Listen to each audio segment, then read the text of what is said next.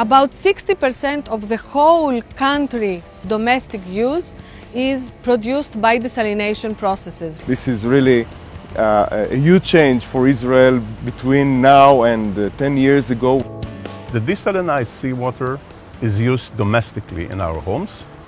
Today, roughly about 70% of our domestic water comes from desalination of seawater. This is the largest desalination facility in the world of its kind. We can supply uh, more than 20% of the total uh, uh, drinking water demand in Israel. By building several huge desalination plants, actually for the days that we are now, there is no problem of uh, current water supply to the whole uh, country. All these plants are receiving water from the Mediterranean Sea. They are passing through the whole process and by the end they are passing this water, desalinated water, as drinking water which is passed to the national grid.